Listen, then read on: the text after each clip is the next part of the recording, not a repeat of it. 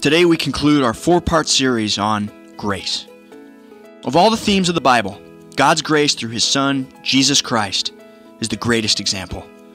It's the most critical element in a person's life, and the choice to receive it is ours. The Bible tells us that before the world was created, God already had a plan to redeem mankind from sin. And because He knows all, He already knew what would take place in the Garden of Eden. Acts 15:11 says, "We believe it is through the grace of our Lord Jesus that we are saved, just as they are." The greatest act of grace then was given at the cross, when Jesus willingly died in our place. Because God is all knowing and all powerful, He decides what is best for human beings. And since He cannot tolerate sin, someone had to stand in as a substitute. Otherwise, each of us would be required to receive the punishment for sin, which is death. And Jesus took all of that away from us. In Isaiah 50 and in Psalm 22, we read very graphic descriptions of the ways Jesus suffered during the crucifixion.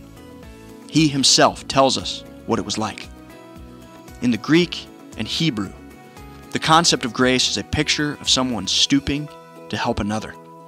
And more specifically, it is a picture of a superior person freely offering to help a person in great need and incapable of doing it for himself.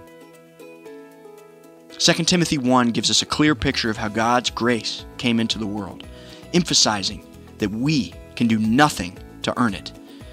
And this requires us to get rid of our pride.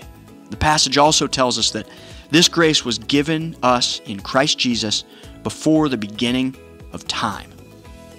And though we think of the Old Testament as more about law, while the New Testament focuses on grace, there are examples in the Old Testament reminding us that God has never abandoned anyone in any era.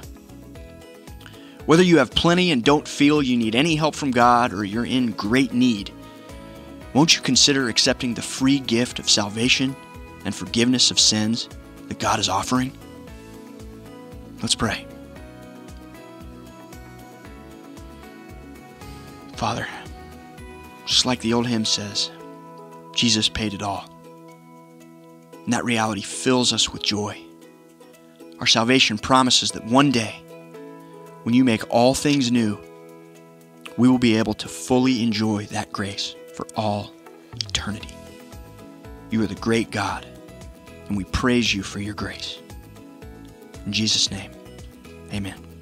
Did you know many of the messages featured on the Kerusso Daily Devotional are available on a t shirt? Kerusso creates original t shirts, apparel, and gifts with inspirational messages that share the good news of Jesus. Learn more at kerusso.com. That's K E R U S S O.com.